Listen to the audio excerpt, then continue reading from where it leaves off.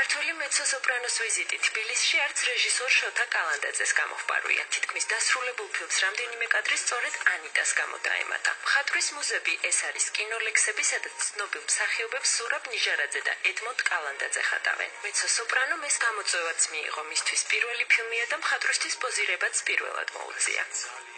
ფილმი თითქმის მზად მქონდა, მაგრამ იმდენად მომინდა ანიტას გადაღება, რომ ეს ჩა ჩა ჩაჭდება ეს კადრები.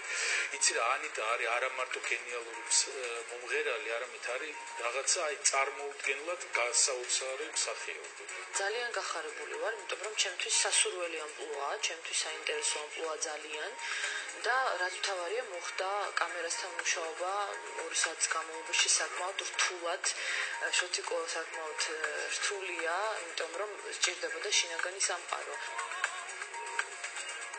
24 ნოემბერს ეროვნულ მუსიკალურ ცენტრში ანიტა რაჭოლიშვილი მხოლოდ როიალის თანხლებით იმღერებს. საღამო საქველმოქმედო იქნება და შემოსული თანხა მუსიკალური ცენტრის განვითარების ფონდში ჩაირიცხება.